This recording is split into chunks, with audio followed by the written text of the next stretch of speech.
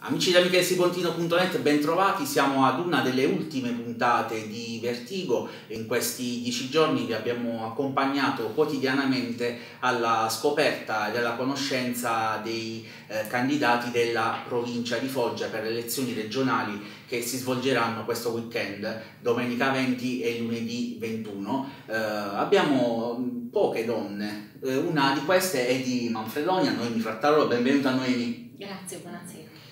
Si è parlato tanto di preferenza di genere, doppia preferenza, però la sostanza è che le donne hanno poco spazio in politica e so che questo è stato anche uno dei motivi che ti ha spinto a candidarti consigli- eh, consigliere eh, con Italia Viva da indipendente.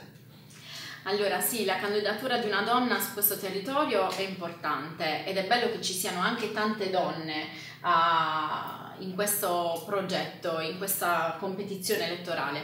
Eh, Ivan ci ha tenuto moltissimo, tant'è che ha voluto una donna come capolista di tutte le sue liste della regione. Eh, Ivan ha eh, sottolineato e specificato più volte quanto attualmente eh, sia incredibile che eh, nella eh, nel Consiglio regionale attuale di Emiliano ci siano all'incirca eh, 45 uomini e 5 donne, quindi qualcosa che ti sta a dimostrare Sproporzionato. super sproporzionato che ti sta a dimostrare che probabilmente eh, per loro, per Emiliano, per questa giunta o probabilmente anche per una tradizione del sud le donne non siano sufficientemente eh, importanti per poter dare un carattere e una determinazione nuova al territorio pugliese. Quindi noi eh, abbiamo deciso questo, sono stata scelta, non mi sono scelta, eh, ringrazio chi ha voluto con me questa candidatura anche perché io sono circondata da donne, sono circondata da professioniste che lavorano in tutti i settori, noi abbiamo proposte, eh, siamo donne che hanno famiglia e che lavorano e che allo stesso tempo fanno politica, quindi tre ruoli, tre ruoli completi. In uno tre ruoli in uno, ma che possono assolutamente, il fatto di essere donna alla politica può portare soltanto importanza e rilievo, è un valore aggiunto, non, non togliamo niente alla politica per il fatto di essere donne, madri e lavoratrici. Bene, in questa campagna elettorale ti abbiamo visto eh, parlare eh, non di un programma, ma di parlare quotidianamente di diversi temi, organizzi verso eh, la tua sede operativa in Corso Manfredi ogni sera dei tavoli con soggetti, appunto associazioni che si occupano a vario titolo di diversi eh, temi. Quali sono le priorità? Cosa sta emergendo da questi incontri pubblici per, per strada? Allora, da uh, questi incontri sta emergendo una cosa importante che accomuna tutti uh, i settori e tutti gli incontri, tutte le persone che incontriamo giornalmente, che è la mancanza di ascolto. Eh, tutte le associazioni e eh, la gente che purtroppo ha dei grossi disagi eh, a partire dal lavoro, la famiglia, la sanità eccetera non è mai stata ascoltata, perciò non si sente rappresentata dall'attuale governo, dagli attuali consiglieri regionali del, del posto.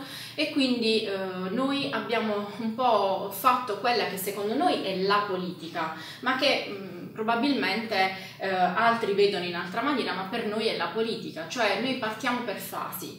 Eh, noi stiamo lavorando in questo modo, incontriamo la gente, incontriamo le associazioni, eh, divulghiamo quello che stiamo facendo, ma soprattutto noi ascoltiamo. Quella è la prima fase, l'ascolto. Non c'è una progettazione, una programmazione, Matteo, eh, specifica perché... Un'agenda. Un'agenda, ma perché tutto purtroppo in questo territorio eh, non c'è qualcosa che vada meglio di qualcos'altro. È tutta un'emergenza. Quindi dobbiamo mettere tutto sullo stesso livello e per farlo dobbiamo lavorare come stiamo facendo noi, cioè per settore e uh, per competenze, perché abbiamo una, um, grazie a Dio, un bel gruppo di persone che hanno competenze differenti, ci siamo divisi per tavoli di lavoro come hai già detto e quindi la prima fase è quella dell'ascolto, tavolo per tavolo, poi è quella della condivisione, perché dopo che abbiamo ascoltato i problemi del territorio lo condividiamo nel gruppo e quindi uh, facciamo le nostre riflessioni, dello studio e poi della programmazione e speriamo in futuro quindi poi anche dell'attuazione finale, quella di poter andare a lavorare e, e integrare quello che noi abbiamo progettato su questo territorio. Hai particolarmente posto l'accento sulla questione femminile, eh, la, sì. le disabilità, l'ambiente e l'agricoltura, che sono poi anche una, un po' il tuo retaggio di formazione, sei stata anche assessore non politica al, alle politiche sociali eh, del comune di, di, Manfredonia ed hai un'esperienza professionale che va in quella direzione. Quali sono le tue eh, proposte, al netto di quelle eh, che vengono dette dagli altri candidati, sanità, agricoltura, riferendosi a ciò che non ha fatto l'attuale governo. Invece quali sono le tue proposte partendo da questi temi a cui ci tieni particolarmente? Allora, eh, le nostre proposte riguardano sicuramente quello che hai detto, le mancanze dell'attuale governo e noi le nostre proposte si rifanno al programma di Ivan Scalfarotto perché lui ha incentrato questa campagna elettorale eh, specificando che purtroppo per cinque anni è mancato un assessore alla sanità. E eh, chi più di noi sa benissimo delle mancanze che ci sono state, eh, delle conseguenze che sono avvenute a causa del fatto che non c'è stato nessuno su quella poltrona, nessuno in quell'ufficio che abbia programmato programmato la sanità pugliese e quindi eh, il nostro intento è assolutamente che non è uno spot, riapriremo l'ospedale, eh, sicuramente è concentrarci sull'ospedale per fare ciò che è possibile e sostenibile, perché naturalmente non possiamo riavere l'ospedale ma come era prima, ma possiamo sicuramente integrare delle politiche eh, nuove eh, di completamento che sicuramente andranno ad alleggerire anche gli ospedali eh, che conosciamo, che sono stati poi quelli territoriali territoriali. quelli territoriali che sono diventati eh, più grandi, diciamo che hanno accolto tutta l'utenza territoriale, perché possiamo lavorare, soltanto dobbiamo concentrarci sulla fattibilità e sicuramente eh, sull'impegno uh, di assunzione, perché altrimenti come sono stanno adesso vuote. sono strutture vuote, sì sì, di tutto praticamente. Poi c'è il welfare, la disabilità che sono altre due La disabilità tematiche. per noi... C'è stato anche il sì. senatore Faraone eh, ospite nei, sì. nei, giorni scorsi che si batte da anni eh, per le disabilità. Noi eh, abbiamo, ci abbiamo tenuto per mesi ad invitarlo e fino all'ultimo non si sapeva perché aveva avuto dei, dei, problemi e finalmente poi è venuto da noi, abbiamo fatto questo incontro non soltanto con chi eh, lavora con le disabilità ma con le famiglie che vivono le diverse abilità e quindi è stato un incontro incredibile perché le famiglie stranamente che non chiedono niente perché non chiedono miracoli chiedevano di essere ascoltate. E questa cosa non era mai avvenuta perché effettivamente eh, sia dal punto di vista territoriale che regionale che nazionale eh, nessuno aveva dato loro la possibilità di spiegarsi esattamente e di poter fare proposte perché chi meglio di loro può dire che cosa va fatto per aiutare non solo i ragazzi disabili abbiamo visto, abbiamo visto che poi delle proposte molto semplici fatte alle famiglie diventeranno delle proposte del decreto agosto sì, del eh, governo. È stato bello questo incontro con Faraone perché eh, nel frattempo, proprio lì, mentre noi parlavamo, lui prendeva tutte le proposte, le iniziative dei genitori, tutte quelle difficoltà e le inviava direttamente a Roma per integrarle alle sue proposte di legge e questo per noi quindi è stato incredibile. Noi abbiamo fatto delle proposte grandi, forse anche anche provocatorie, però lui le ha accolte perché ha dato a noi eh, effettivamente il titolo per poter dire io vi ascolto e porterò avanti queste proposte perché le avete vissute sulla vostra pelle, cosa che non accade mai. Legalità, sei stata la prima a firmare il eh, patto con Molo 21 che ha lanciato questo appello ai candidati per evitare infiltrazioni di qualsiasi genere, quindi il rapporto con i giovani, la legalità, l'ambiente e l'agricoltura. Eh, sì. sei, sei stata ospite, hai avuto ospite la ministra Bellanova, Manfredonia, eh, quindi insomma temi eh, molto eh, quotidiani. Sì, temi territoriali, perché praticamente qui abbiamo assolutamente bisogno di far coincidere eh, legalità e ambiente. Noi abbiamo fatto un incontro eh, proprio l'altra sera, come dicevi, dove ho immediatamente aderito e firmato il patto di legalità di numero 21 perché è qualcosa di nuovo, è strano perché un politico dovrebbe già essere una figura che vuole portare avanti le, lealtà, trasparenza e eh, lavorare per il territorio contro infiltrazioni mafiosi, ma purtroppo questa cosa non avviene.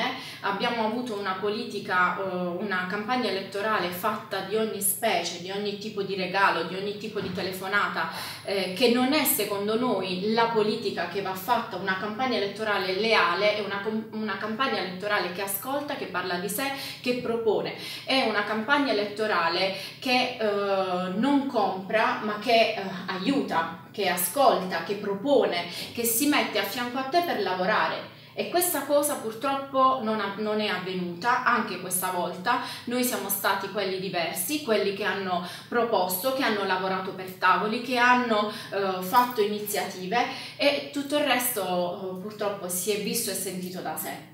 Il, per quanto riguarda... Eh, il resto dicevo l'agricoltura, anche quello è un punto importante eh, di Ivan Scalfarotto perché anche in questo purtroppo Emiliano ha tenuto a sé eh, per gli ultimi due anni.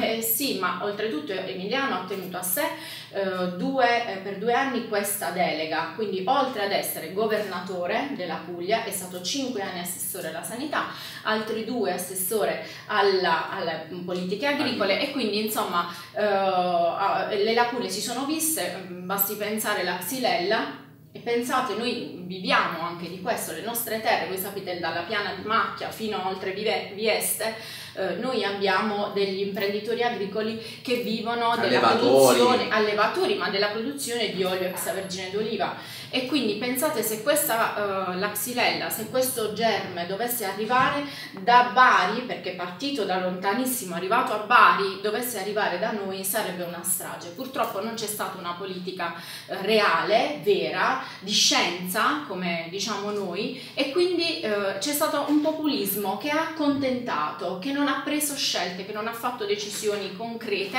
e, e, e immediate, perché là bisognava fare decisioni immediate prendere decisioni immediate e quindi questo è stato il risultato. Noi siamo tutt'altro, noi vogliamo effettivamente, e dico sempre noi, sottolineerò sempre noi perché siamo un Insieme per numeroso, cambiare è il, è il titolo slogan. nostro, sì, sì, delle, delle, dei nostri gruppi associa- di associazioni che poi, ripeto, riguardano la scuola, la sanità, perché quando uno fa riferimento a me che eh, vengo dal mondo delle politiche sociali, pensa sempre all'associazionismo eh, per quello del, delle associazioni delle, delle, del mondo sociale invece parliamo di associazioni culturali, sociali, sportive eh, e c'è un gruppo che si occupa della sanità, infatti che si sta occupando quindi delle proposte per l'ospedale e mh, mm, questa è la differenza, cioè noi abbiamo delle proposte e non abbiamo paura di prenderci le nostre responsabilità. C'è anche la questione Energas che è stato sollevato da un gruppo di lavoro nelle scorse giornate.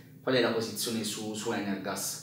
Eh, noi eh, abbiamo chiesto attualmente per quel pezzo di terra, perché sappiamo che Monte Sant'Angelo ha aderito ad un progetto insieme alla regione eh, di un'azienda che sta per nascere di nuovo accanto alle nostre a Manfredonia eh, su agro di Monte Sant'Angelo, nonostante quella zona a nostro avviso, perché purtroppo non siamo ancora stati eh, diciamo completamente eh, informati sul progetto che verrà messo in opera lì, una, un'azienda che eh, porterà, pare che porterà lavoro, ma di trasformazione della plastica che potrebbe che essere... va di pari passo con Energas. Che va di pari passo con Energas e che purtroppo potrebbe portare a noi eh, una, un, un, disagio, un forte disagio come quello sulla salute, quello che abbiamo già vissuto e tutto il resto.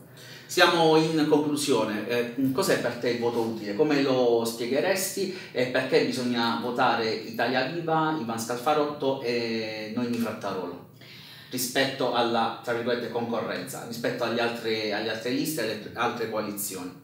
Allora, il voto utile è quello utile per la comunità, Cioè, in questo momento eh, vari politici stanno parlando del voto utile, stanno sottolineando che il voto utile è quello che eh, non si dà a chi si crede, ma è quello che eh, continua a seguire eh, coloro che hanno già più voti affinché questa votazione non risulti frammentaria, quindi affinché questi voti non si disperdano secondo loro verso delle politiche diverse, nuove. E purtroppo per noi è stata ancora più una provocazione perché invece noi stiamo cercando di portare con Ivan Scalfarotto una politica che non sia populista, una politica che non poteva assolutamente sposarsi con la politica di Emiliano o con la politica di Fitto perché è differente, perché sappiamo benissimo che eh, la gente l'avrebbe voluto schierato con Emiliano, ma questa cosa non poteva essere perché dopo tutti i provvedimenti che sono stati fatti in questi giorni,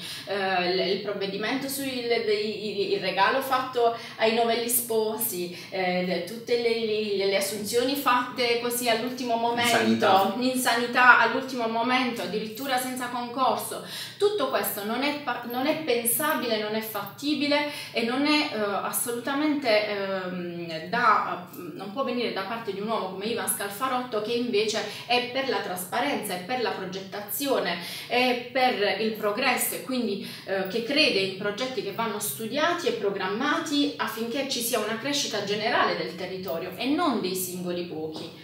Quindi eh, noi non potevamo assolutamente schierarci da quella parte, il voto utile per noi è il voto che condivide i tuoi principi. Noi non siamo un voto, io non sono un voto, voi non siete un voto, non dovete assolutamente farvi comprare, il voto non è quello dato all'amico, non è quello promesso, perché questa storia l'ho promesso già ad una persona, puoi promettere un caffè, non puoi promettere un voto. Il voto è troppo importante perché dopo, quando passerà tutto questo, ci staremo di nuovo a lamentare. Incominceremo di nuovo a dirci le solite cose sui social dove ci lamenteremo che qua manca tutto, che non è arrivato niente, ma se noi continuiamo a eh, seguire coloro che dicono il voto utile è per me che ho l'esperienza perché sono là già da tanti anni e invece il voto utile è quello che è ragionato e che segue i tuoi principi, i tuoi valori e che dà in questo momento un'opportunità al territorio noi facciamo la nostra proposta. Poi Quindi una proposta alternativa. Saremo, saremo, all'opera sempre, questa cosa comunque non finirà mai perché noi non siamo partiti. Quindi con... si va oltre il 21 settembre. Ma noi non siamo partiti quest'estate, non siamo partiti con queste elezioni, noi già lavoravamo insieme, già progettavamo, già inviavamo i nostri progetti, già avevamo invitato... Possiamo parlare di un progetto civico anche per la città? Assolutamente, noi eh, sì, non mi chiedere perché se mi parli di elezioni comunali al momento non ci abbiamo pensato e non c'entra niente, cioè il nostro progetto civico per la città è soltanto rimetterci in piedi e riprenderci ciò che è nostro, perché non è più possibile lavorare eh, singolarmente e poi eh, subire tutte le conseguenze del caso, del fatto di essere soli, del fatto di non avere una comunità e un comune che ti accompagnino e che ti tutelino, quindi questo è, eh, è fondamentale. Dopodiché eh, le nostre proposte verranno col tempo perché nulla è ragionato, noi seguiamo e studiamo le cose in maniera talmente eh, precisa, talmente cor- corretta e democratica perché tutto questo, quello che noi facciamo è, eh, fa parte di un gruppo. Ehm, fatto così è sostenibile e noi lo proponiamo. Poi vediamo, ci sarà tempo. Chi vivrà vedrà. Eh, chi vivrà vedrà. Nel frattempo ti facciamo un in bocca al lupo per la competizione elettorale di, di, domenica e lunedì. Ricordiamo che eh, Noemi Frattarolo, ex assessore alle politiche sociali del Comune Manfredoni, è candidata a consigliere per Italia Viva con Ivan Scalfarotto presidente. Grazie noi per essere stata con noi e per averci raccontato nei dettagli le tue idee e i tuoi progetti e quelli del tuo gruppo. Ti facciamo nuovamente un in bocca al lupo.